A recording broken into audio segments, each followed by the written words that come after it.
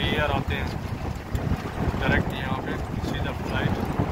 के लिए यहाँ पे उतरते हैं और फिर ये एरोप्लान खड़ा है चार्टर्ड प्लान आते हैं छोटे